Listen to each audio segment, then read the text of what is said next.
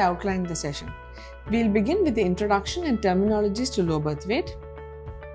Then we'll go to the clinical case scenario, proceed to the etiology, clinical features, investigations, and this we will discuss first of the preterm neonate and then of the growth retarded neonate.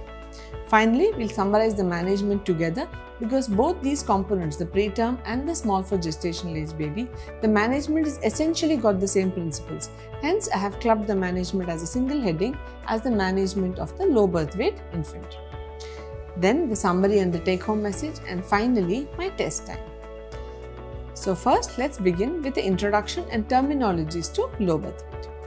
The incidence of prematurity, according to WHO, is 5 to 18 percent in the world, with 15 million babies born preterm each year, and this is the statistics of 2019. The incidence in India is 16.4 percent, as compared to 5 percent in Japan and 7 percent in the United States of America. One of the main contributory causes of neonatal mortality is the low birth weight population of infants and neonates. The incidence of long-term morbidity is high as we will learn over the course of this class and this is 3 to 4 times more than those in normal neonates. And while finally this entire population is at risk for poor child survival contributes to mortality and morbidity in the under, under 5 age group. Now, what are the definitions? There are certain terminologies and nomenclatures which are specific for low birth weight. So, let's begin with definitions. The definition of low birth weight was initially given as per the weight. Here, low birth weight, that is the weight of the infant at the time of delivery, if it was less than 2.5 kgs, it was classified as low birth weight. Soon, we found there's a group which, which had different mortality and morbidity statistics. They came to those below 1.5 kg at birth and they were grouped as the very low birth weight. And there was another group which comprised of less than 1 kg at birth and these were the extremely low birth weight neonates. Now this is the classification as per weight of the neonate. But however, we found that when we classify neonates as per birth, there was a big difference regarding the maturity, which we'll see later. So came the classification as per gestation. Now, as per gestation, a preterm neonate is one who is born before completing 37 completed gestational weeks, and a term baby is one who is born after completing 37 completed gestational weeks at birth. Now, when we classify two separately like this, what do you think the challenges will be in this kind of classification? Let me give you the answer. Birth weight alone cannot explain the maturity of the baby. This is very important. And maturity of the baby does not mean an adequate birth weight. Now, how do you explain this? Let me give you an example. Take a baby who is 2.5 kgs. Now, by all probable definitions, this baby is not low birth weight. This is a normal birth weight baby.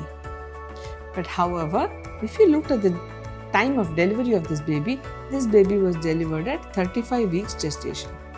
So now we have a baby who is delivered nearly 5 weeks before the expected date of delivery and nearly 2 weeks before the term gestation.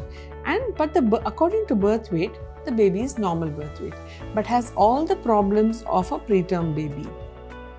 Now look at the another situation. Another situation is think of a baby who is 2 kg at birth but however has been delivered at the expected date of delivery that is at 40 weeks of gestation. Now this baby will be low birth weight but however this is a completely mature baby who does not have half the problems that a preterm baby has. So you find that at 35 weeks a 2.5 kg baby may not be just small for gestation, large for gestational age, it has the problems of a preterm baby, which are completely neglected when we say this baby is normal birth weight. However, we find a baby at term who is low birth weight but may not have as many problems as such because the maturity is full at 40 weeks. So we needed a classification or a way to segregate babies, this entire group of low birth weight babies based upon both their maturity as well as their birth weight. That is how the classification as I will be discussing later came about.